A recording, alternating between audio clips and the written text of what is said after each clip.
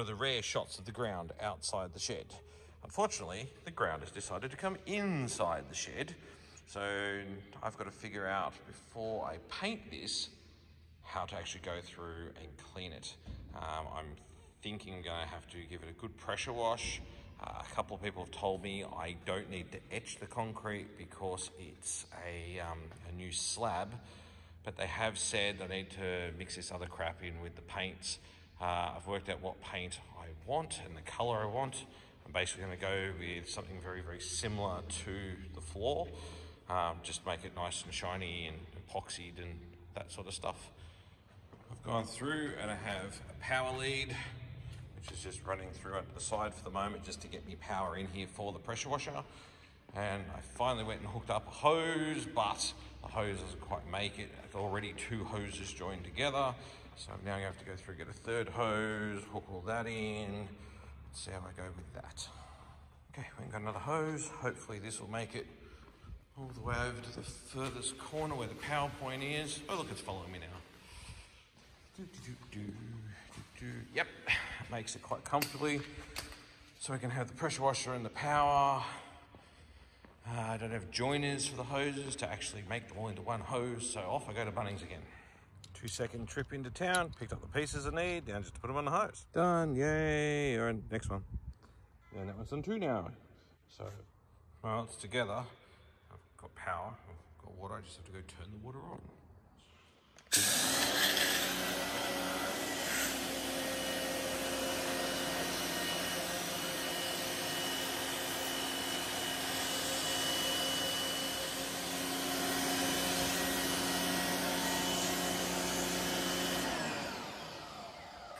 Well, I'm not unhappy with it, but I think I need to adjust the uh, the spray a little bit. But yeah, no, overall that's not bad. All right, changed a few of the settings and uh, made it a bit more powerful. I've done one bay. Yay. So uh, it's come up all right. There's, uh, you can see a little, little spots like that that I've missed. Um, once it dries, I'll get a better understanding. But at this point, it's not bad. So I've walked outside to find that although that one's all right, it popped out of this one because the little clips that hold it in are terrible. So off I go back into town for yet another joiner. Alrighty, that looks like what I need. And maybe one of those and some of those. Excellent. Nothing's ever simple. That wouldn't come off. I couldn't even undo that. So anyway, I've cut these and I'm about to put this on. And we're done. It's not going anywhere. Yay. It's the next day. I gave it a bit of time to dry. Um, there's still spots where you can clearly see there's dirt. Little bits that didn't quite come off and bugs and bits and pieces. Overall, it's a lot better, but it's not good enough to paint.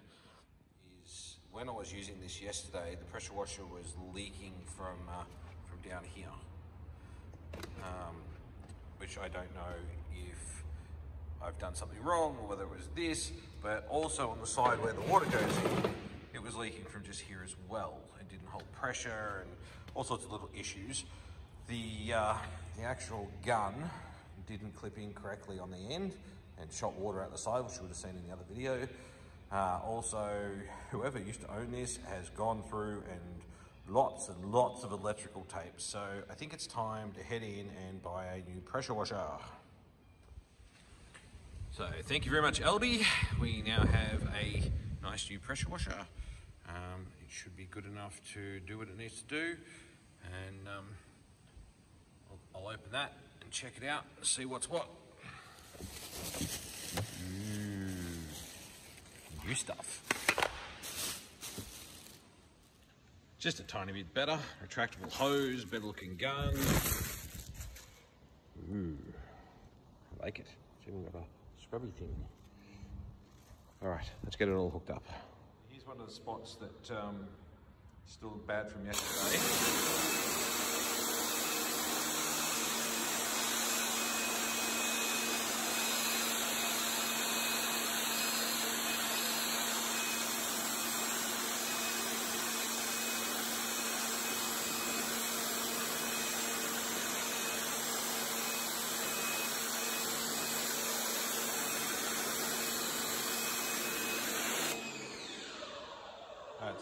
Much better.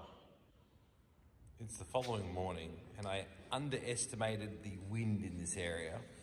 I left the roller doors up a tiny bit just so I could let the water dry. and uh, yeah, that didn't end too well. So good thing I have a leaf blower.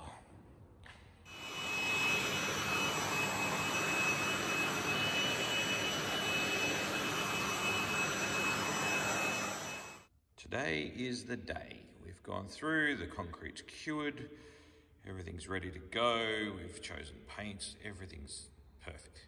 It's just a simple matter of actually painting it. So yeah, let's see how this comes out. Okay, so we've gone with Ozsil. We've ordered it, it's here. Uh, I've got blue gum, which is like a grey colour similar to concrete. We've got some solvent and stuff, which we have to mix in with the paint to get in all the nooks and crannies. Got a couple of rollers and trays, something to mix the paint. Decided I'm going to mix it in this, um, and then I'm going to set it on that so that I can push it around. And of course, an extension arm, so we're not screwing our backs. Uh, let's see how we go.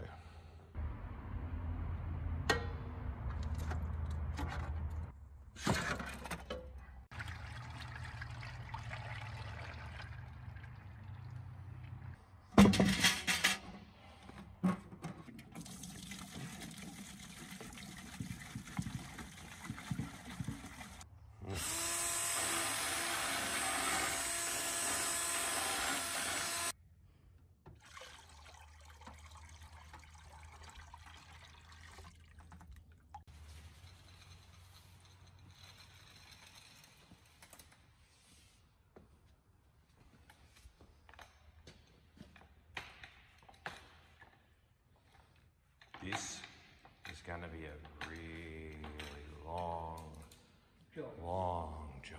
Oh, yes.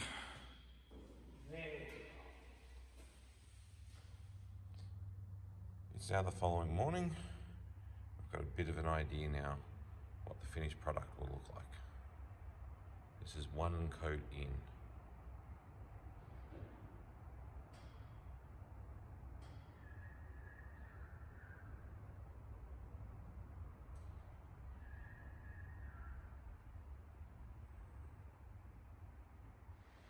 This is looking good, and I can see out here that uh, there's already a couple little chickens that have been, ooh, let, let us come in, let us have a walk on this lovely paint. But no, stay outside, Shook. That, that, that's my advice.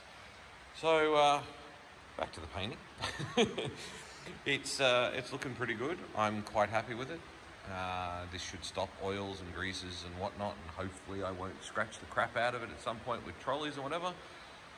But uh, I think I'm going to call this done for this video as the floor is basically done.